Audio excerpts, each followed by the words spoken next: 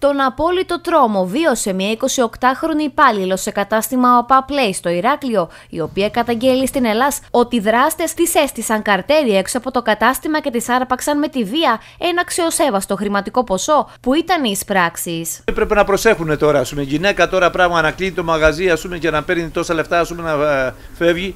Έτσι που έχουν καταντήσει, δεν πρέπει να κρατάμε ούτε, ούτε δραχμία πάνω μας. Τι γνωρίζετε την κοπέλα; Την, πώς την γνώριζα. Έχει η κοπέλα δίκιο, αλλά πού θα το βρει; Δεν υπάρχει δικαιοσύνη. Ε, τώρα στις μέρες μας έχει παραγίνει αυτό το πράγμα, το κακό.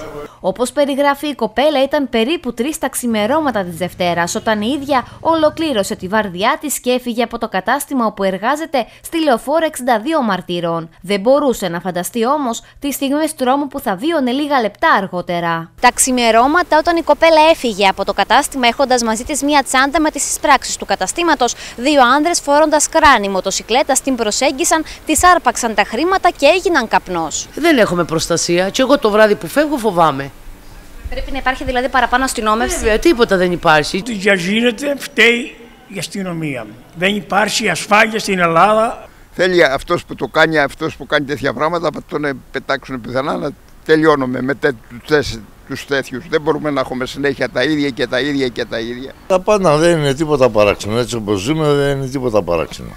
Χαμός γίνεται ορατό της κοινωνία μηδέν. Οι δράστες έφυγαν αστραπιαία προ άγνωστη κατεύθυνση με μοτοσυκλέτα, ενώ η κοπέλα είχε μείνει άναυδη από την επίθεση που δέχτηκε και ειδοποίησε την αστυνομία. Οι έρευνες των αρχών είναι σε πλήρη εξέλιξη προκειμένου να φτάσουν στα ίχνη των δραστών και εξετάζουν με προσοχή κάθε πτυχή της υπόθεσης. Τι να πω, άσχημα πράγματα είναι αυτά. Αυτά συμβαίνουν, ας πούμε, τώρα πολύ, πολύ πράγμα έχει πέσει τώρα τελευταία. Το γνωρίζουμε, αυτό το πράγμα είναι πολύ κακό όμως και όλοι έχουν το χρέος να σεβόμαστε έναν τον άλλο.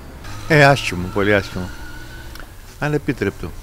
Θεωρείτε ότι έχει αυξηθεί η εγκληματικότητα; Ε, μα και βέβαια, πάρα πολύ. Εδώ δεν μπορείς να αφήσεις την πόρτα σου ανοιχτή. Την ίδια ώρα για αυξημένη εγκληματικότητα κάνουν λόγο κάτοικοι της περιοχής που έχουν αναστατωθεί από το σοκαριστικό συμβάν και ζητούν να αυξηθεί η αστυνόμευση. Υπάρχει εγκληματικότητα στην περιοχή; Εννοείται πάρα πολύ. Ε, σίγουρα πρέπει να προσέχουμε. Δεν είδα εγώ τίποτα τα βράδια να κυκλοφοράει να μας προστατεύει, να νιώθουμε μια ασφάλεια. Στη γειτονιά μου που μένουμε Αϊζένη Χωστό στον παράλληλο της Εθνικής από κάτω, 10 η ώρα το βράδυ χτυπήσανε μια γυναίκα της πήραν την τζάντα.